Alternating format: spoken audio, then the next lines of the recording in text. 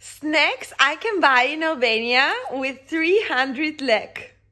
So here are the Albanian lek. I prepared them in advance and I went to supermarket. I bought a Lacta, a Lion, I bought a Kiss. I really like this chocolate.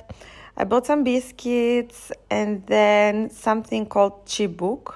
Chibuk, I don't know how it's the English translation. I also got some chips. So here it's all the snacks I bought. And all for 2.5 euro. Can you believe it?